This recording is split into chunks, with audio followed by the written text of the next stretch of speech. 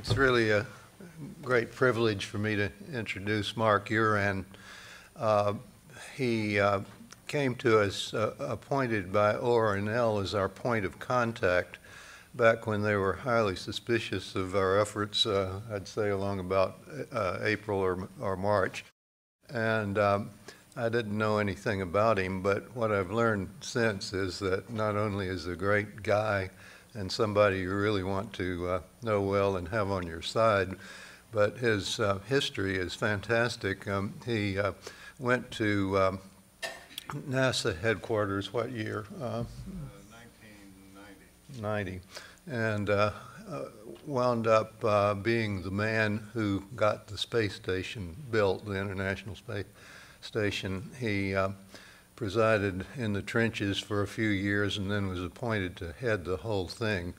And uh, the last, uh, what, eight years, seven years, you, you, you were uh, completely in charge of it. So the reason that it's up there orbiting now is because of Mark and his uh, skill in managing the whole thing.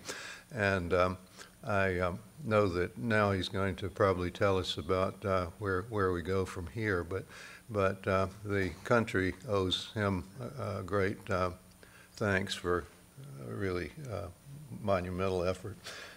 Mark Uhran. Thank you, John. That was, that was far too generous. I was actually more a learner than a leader during my tenure with NASA. I spent 28 years with them. Uh, but I was fortunate enough to come in right at the very beginning of the International Space Station program in 1984 and watch leaders from principally the shuttle era, uh, but there were also a fair number uh, of Apollo uh, folks that remained with NASA at that time. And these were the people that really led the design, the development, and the on-orbit assembly of the space station. I, I, I, by virtue of the fact of having spent 28 years there, uh, you can't help but rise to the top. Uh, and by the time I got, and I was, uh, spent most of that period as an advocate for how the space station was going to be utilized, the, the mission objectives of the space station, which is I'm going to talk a little bit about here. Uh, but then, full disclosure, I chose in 2012 to leave the space business. Uh, working on the ISS for that many years was like running at a full sprint every day. And it was tiring. I decided that I wanted to do something easier. So I came down here to ORNL and joined the ITER project. Uh, which has been great fun, and, and it, it's another international consortium. For those of you that aren't familiar with it, it's uh, a consortium to build a 500 megawatt uh, uh, hydrogen fusion reactor in southern France.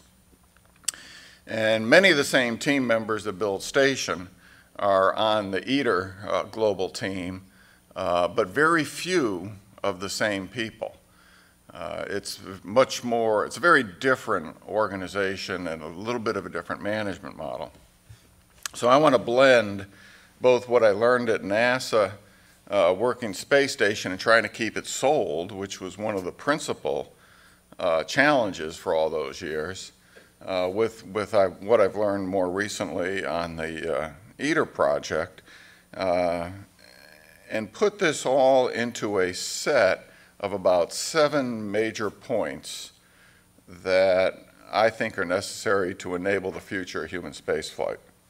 So with that, let me go ahead and, and begin. Uh, this particular illustration, I put this together kind of at the last minute last weekend uh, when we found that there was going to be a gap in the agenda this morning. And I grabbed this picture because I, I always like this photo. But I realized when I was re reviewing it that this, this must be some kind of uh, uh, graphic composite. This is not an actual photograph. And you have to really look closely and know a little bit about space to realize where the clue is. Uh, but this astronaut has no tether. That would never have happened on the International Space Station.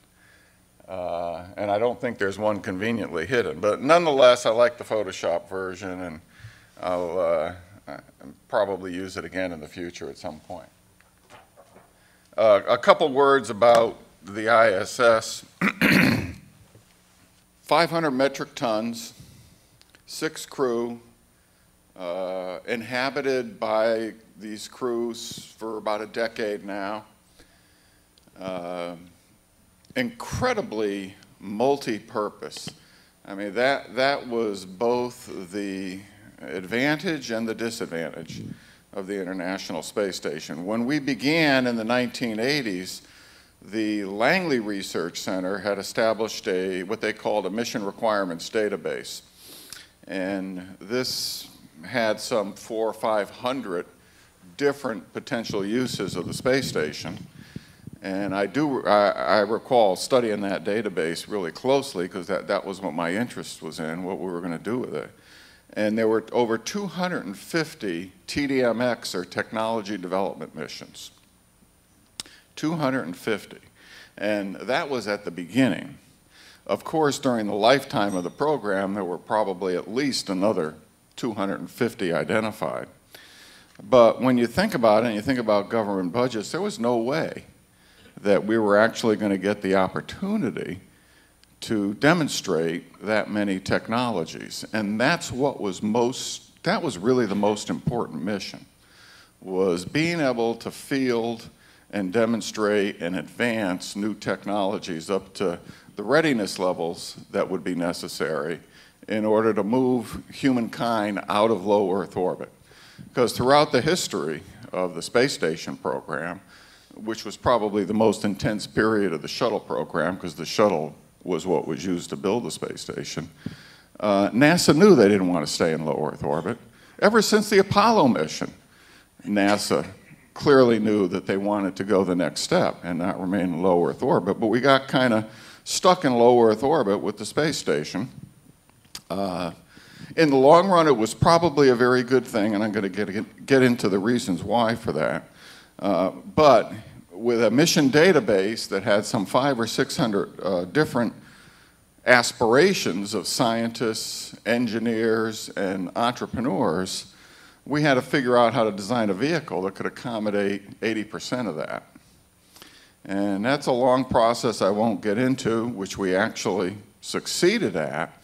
But in the course of succeeding, I, I set up the uh, critical parameters in, at the critical design review in 1993 that, that ended up establishing what the crew size was going to be, what the volume was going to be, what the logistics, the transportation up mass and down mass was going to be, uh, power, thermal, and, and so on and so forth.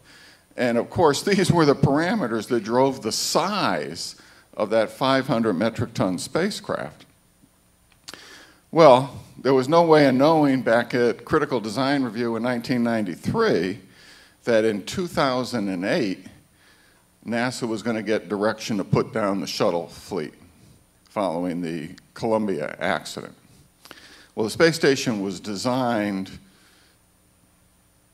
completely to be serviced by the shuttle fleet.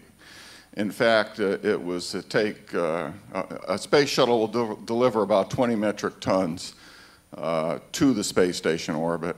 And we planned on four to five flights per year, so 80 to 100 metric tons of resupply and return. When that capacity went away and was replaced by the fleet of rockets that we have today, both uh, mostly commercial is what we're using today, and partner uh, launch boosters, those, that fleet although it comes from around the world, uh, is almost like a fleet of pickup trucks. They have anywhere from three to about five metric ton capacity. So you had, a, you had to launch six or more of these things to equal one shuttle flight. So that, that was all technically possible, and, and of course that's what we've done for the uh, past 10 years since, it, since the assembly has been complete. But because that logistics was cut back so severely, many of the previously foreseen applications of the space station could not be supplied. And that, that was among the reasons that I left the, the space business. And I recall telling some of my colleagues at the time, NASA's not going anywhere with chemical engines. Call me if you start using nuclear propulsion in space. And so I am just thrilled six years later to see that the possibility is, is really palpable that we are going to see the development of nuclear propulsion in space. And, and that, I don't like to use the Washington, D.C. buzzwords about things like, uh, you know, game-changing technologies, but boy, NTP is a game-changing technology, and it's going to change the entire future of human spaceflight, uh, hopefully within my lifetime.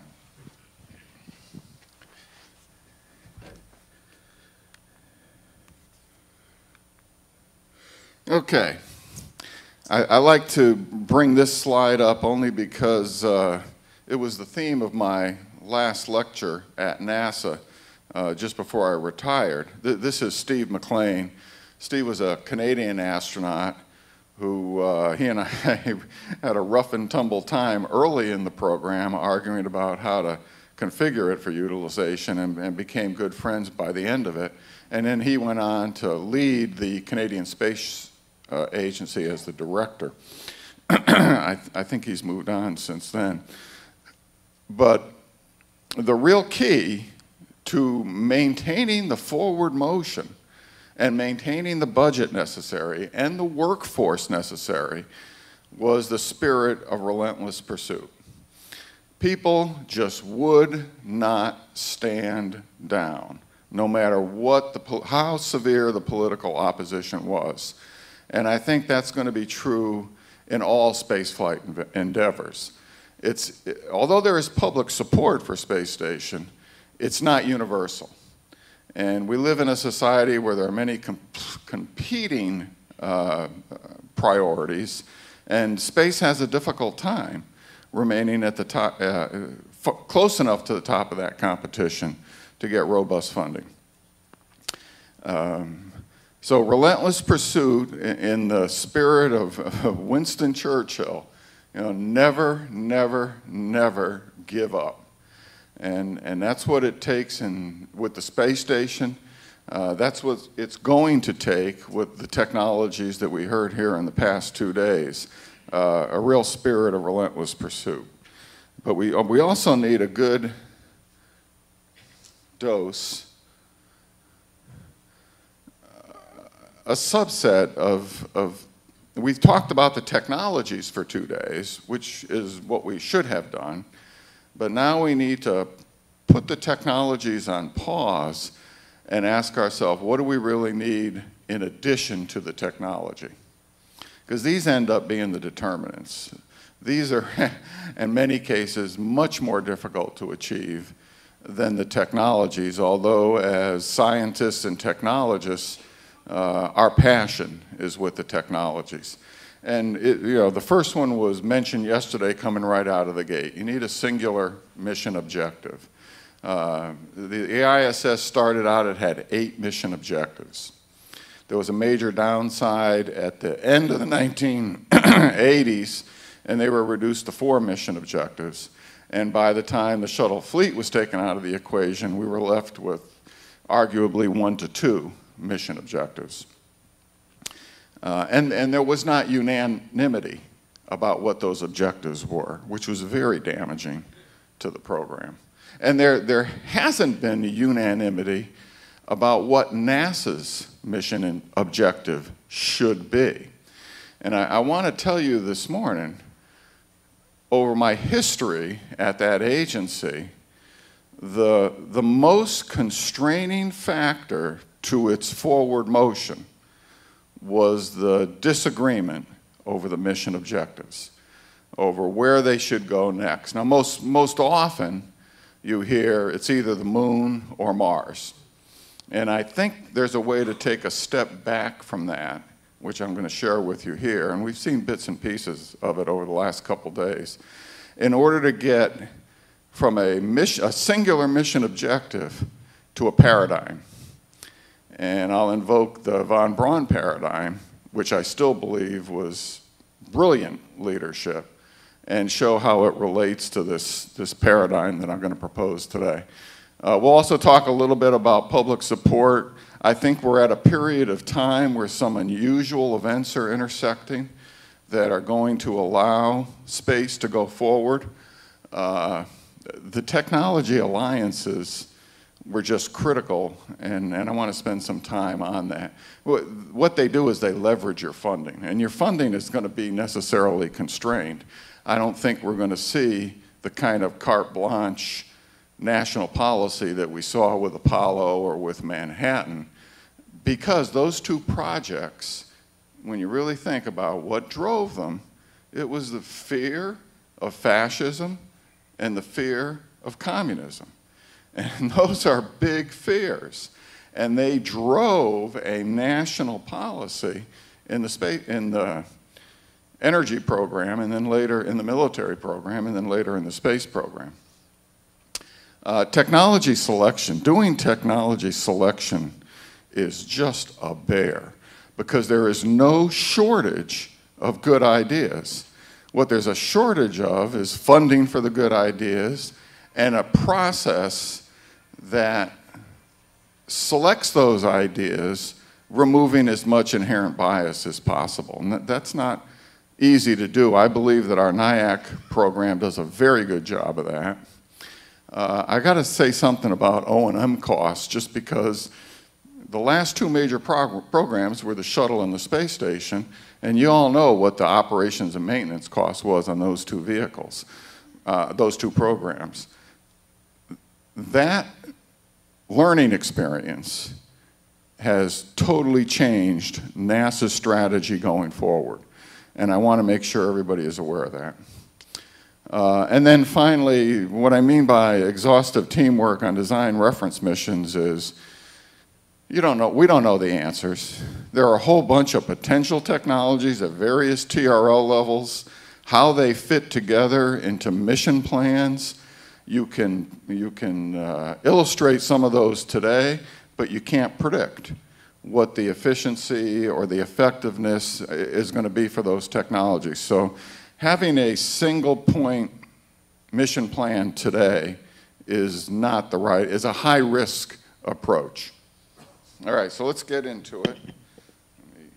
I got about 15 minutes to get through these. Uh, the mission objective. So when you take the mission objective and you extend it over time, so you have multi-phased mission objectives, I think we all are in pretty common agreement that interstellar human spaceflight and being able to expand the human civilization is the ultimate objective. Uh, we probably also are in pretty close agreement that establishing a human presence and an ability to work in low Earth orbit is done. The shuttle, the space station programs did that. And they moved us ahead as a result of that. Uh, but we don't need to stay in low Earth orbit, or at least the government doesn't need to stay in low Earth orbit. Uh, so now what comes in between? Well, this is, this is where it starts to bear some similarity to the von Braun paradigm. Remember, von Braun's paradigm was heavy lift for cargo, reusable uh, space transportation for crew, uh, an inter, a uh, orbital, a LEO space station, so you could learn to live and work in space, and then a lunar base so that you could learn to live and work on a, a foreign body. And once you went through those four steps, you would be prepared to establish, to make a mission to Mars. So a couple things came off the track. The paradigm is absolutely correct, but a couple things came off the track in execution one of the provisions is as you develop those technologies, you've got to sustain them, not throw them away. You've got to build upon your technology base. And NASA got caught in a, in a position where, in order to start the next program, they had to take the prior program offline. So, what do we do? We lost the Saturn V rocket. It amazes me to this day that the capacity of the Saturn V which went out of service in what, 1972 or something, hasn't been matched since then. And I think we're about, we're about to see vehicles enter back into that class now. But we threw away the Saturn V, uh, our first heavy lift vehicle. We threw away Skylab, our first space station. We ended up throwing away the space shuttle, our uh, crew transfer vehicle to and from orbit. And then we went back and said, well, now we got to rebuild a heavy launch system. And, and we got the Orion uh, SLS program. Well, we've got to rebuild our space station, and we got the ISS program. Well, if we had kept those capabilities in the first place, we wouldn't have had to make, re, make that investment a second time. And, and this also gives you the distinction between the Russian and the US program. The Russian program is very much built on uh, stepwise increases in capacity. They don't throw anything away. Uh, and, and they don't design based on performance optimization so that you get the most expensive and the highest performance spacecraft. They design on the basis of reliability uh, and upward compatibility in the architecture. So this was one of the benefits of the space station program. It allowed the Americans and the Russians to work together and start to respect each other's uh, different approaches. So everybody knows we want to be able to get to Mars and, and, and we need to be able to live and work productively there. Uh, and as von Braun, von Braun's goal was actually interplanetary space flight, not just a human mission to Mars uh, where in situ resources were being developed in order to enable that, that interplanetary mission. But now the missing piece, uh, and what I'm going to talk about a little bit later today, is rather than building another big infrastructure project, building a proving ground in space where the O&M cost is as low as possible, allowing NASA's flat budget to be diverted into technology development, which is where the real need is. And I think that's the path that NASA is on, or at least some of the current leaders are on. And I, I want to elaborate on that path in a little while. Okay, see if I can pick up the pace here. Uh, public support. Public support means taxpayer dollars. Uh, these are government agencies. What we're seeing I think, somebody correct me if I'm wrong, for the first time in 50 years, is interest, potentially collaborative interest, across both NASA, the Department of Energy, and the Department of Defense. Now, there's always been dialogue between those three agencies, but in terms of active collaboration and pooling of resources in order to develop new technologies, I, th I think we're on the threshold of that. And I think nuclear uh, thermal propulsion is, a, is the best example. Uh, they all have different missions. NASA has civil space exploration. DOE has nuclear power in space. And of course, DOE has our national defense posture in space. I don't want to elaborate on the national defense posture, mostly because I don't have time. But there are other events going on in the world that may produce a forcing function similar to what we saw during uh, Manhattan and Apollo. And we can talk about those afterwards. Uh, the technology alliances. The most important aspect of the alliances is that they leverage your money. They really leverage your money tremendously. I mean, it's like a doubling or a tripling or, or higher effect. We never would have built this space station without the launch systems of all those other partners. And in fact, after the Columbia accident, we wouldn't have been able to maintain the space station in a crewed capacity without the uh, Russian partnership. Very expensive uh, for us to maintain the Russian partnership. I won't, I won't get into the details on that, uh, but you're probably aware of them. Um, and we were able to develop our own commercial capacity at the same time.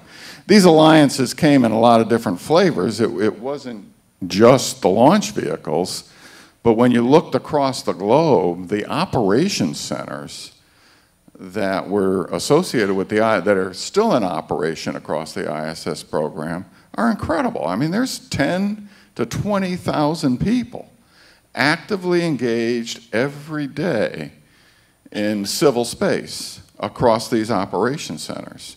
And that did not exist a generation ago. You'll certainly agree. Will it exist a generation from now? We want it to exist a generation from now, from now, but we can't take it for granted. We have to work to maintain these alliances and expand these alliances. Uh, the alliances are incredibly important. Even a partner with a small stakehold, Canada had a 3% share in the ISS, but the robotics that came out of Canada are just awesome. And for those of you that aren't intimately familiar with the mobile transporter and the ISS remote manipulator system and the special purpose dexterous manipulator that is at the end of it, you put that system together and you have something like 26 degrees of freedom in those robotics. That's unheard of. That's like a piece of science fiction in and of itself. And they can be teleoperated from outside of Montreal, Canada, at a ground based control station. So, 3% partner made the difference, knockdown. Great people to work with, too. Systems engineering. I took systems engineering for granted.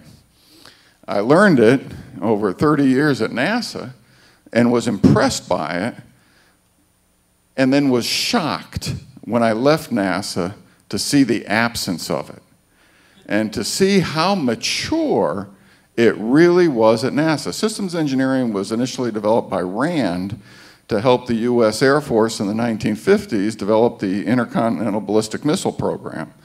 So NASA, almost immediately upon its inception, began the Apollo program and decided to apply the RAND systems engineering principles. And of course, Apollo was a success.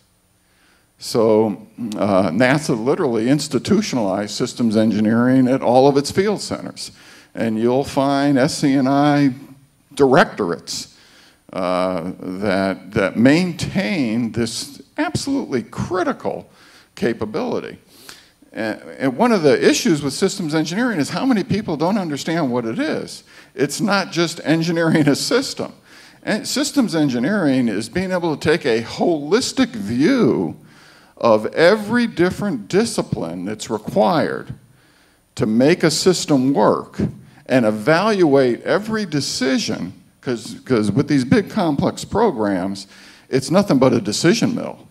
I mean, you're, doing, you're getting trade decisions several a day, and some of those trade decisions are in the tens or even hundreds of millions of dollars. The trade decision on the, whether or not to, how to operate the space station after the shuttle fleet was taken out of the equation was a multi-billion dollar trade, trade study. And I was able to both participate and, and watch the politics behind that. So being able to make decisions, taking all aspects into consideration in a collegial manner, where people, each of these disciplines respected the other disciplines. The guy that ran logistics, you know, resupply to and from the proposed and then built spacecraft was every bit as important as the guy that uh, ran assembly of the spacecraft. They had equal stature in the decision making process. And I don't know how you can build really complex infrastructures without that kind of uh, systems engineering discipline. And when we talk about moving through that paradigm, that discipline is going to be required because there are going to be suppliers of various elements from all over the world, which means those elements have to meet and mate and operate successfully together for the first time in space. And that's a trick. That is not hard, not easy to do. Uh, NASA made this look easy on the space station program, and as I said, I just took it for granted until I left.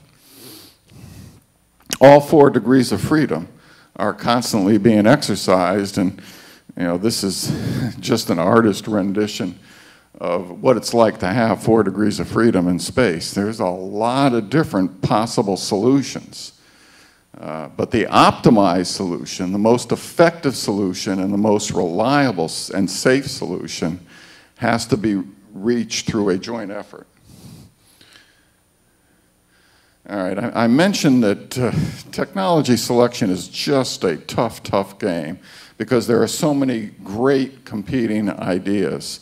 And you know, this is a little bit of a feeble attempt to illustrate how biased we all can be and how important it is to, to try to get as much bias out of that equation as possible when you're doing technology selection and trading technology A, B, and C across each other.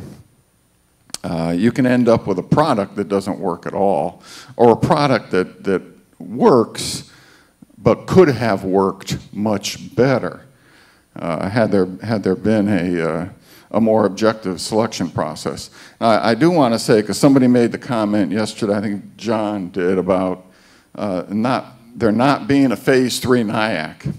And so I went and I, I talked to Jason about that because I wanted to get clarification. That, that would clearly be a foul if there wasn't a phase three NIAC. But what I understand is in the current NIAC model, their success is determined if one of the other NASA directorates picks up the project and then funds it in a, in a program. And that's how it gets picked up and run with. So I, I do think the NIAC model is very successful. And Jason could show you a series of examples where that, that has happened, which is encouraging. Okay, this, this is probably the key one. It's the simplest chart in the set, but it answers the question that's been debated for several decades now. What's next? Lunar base or mission to Mars? That's been the perennial debate, uh, at NASA. Now think about this. If NASA were to embark on a lunar base, what would it cost to operate and maintain that base? It would eat every element of funding for technology development. You know, we might achieve some useful uh, incremental gains by, by being able to have people on, on the moon permanently, but if it took our entire budget to keep them there healthy, you know, that lunar base may be the wrong idea. And so I think what NASA has done is they've come to a, a middle ground that can accomplish the same kind of goals that von Braun had in his paradigm for a, a lunar base uh, without running the risk of the O&M costs taking over the, the budget. I don't think I need to spend too much time on this because I've, I've already alluded to it, and I'm just about done here. But it's just another illustration of how the decision making is incredibly robust. And you can't underestimate it, and it has to be done properly. And then I wanted to throw in a quote from Mencken here at the bottom.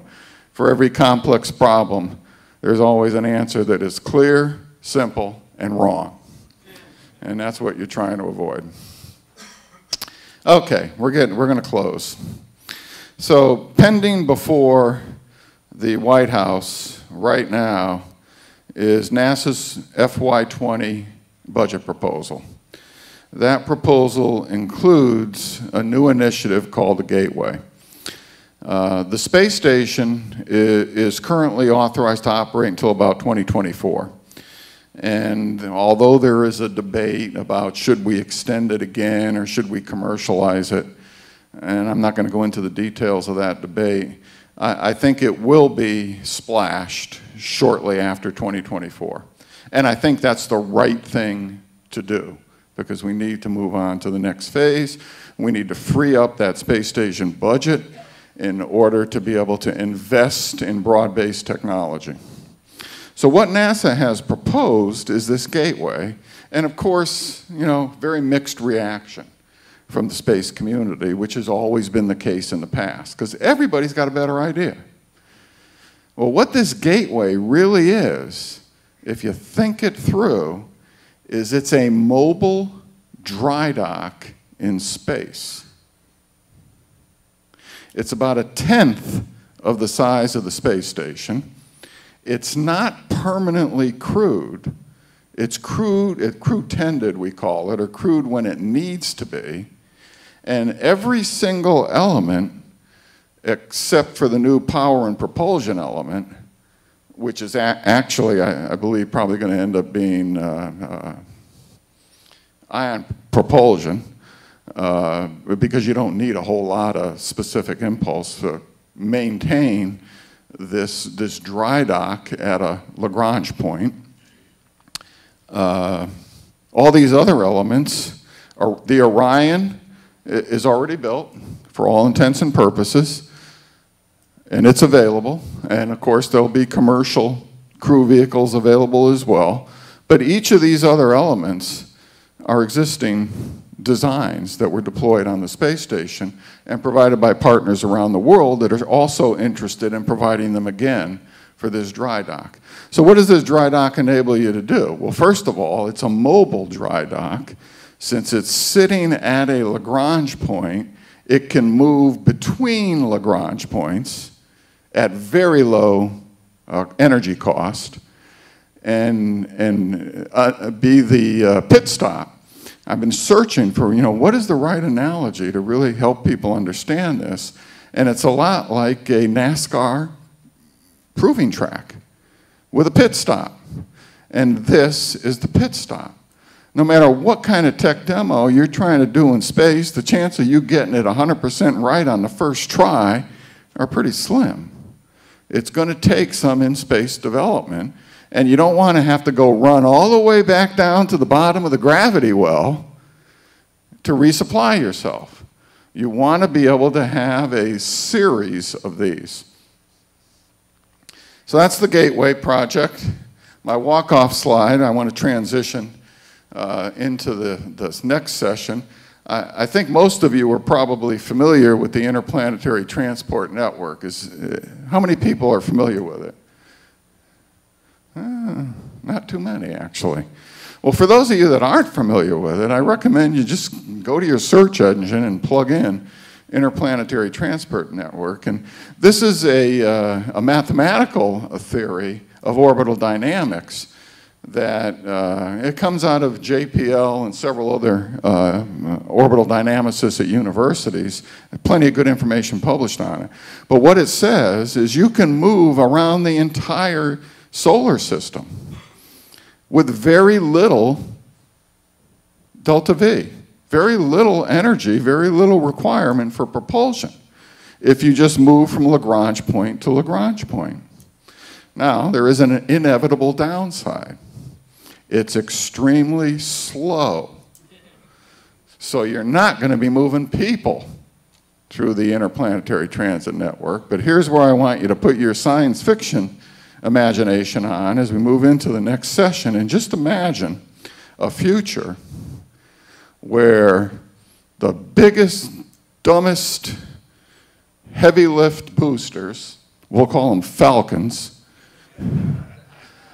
are being used to put 50 metric ton freighters and tankers into this system.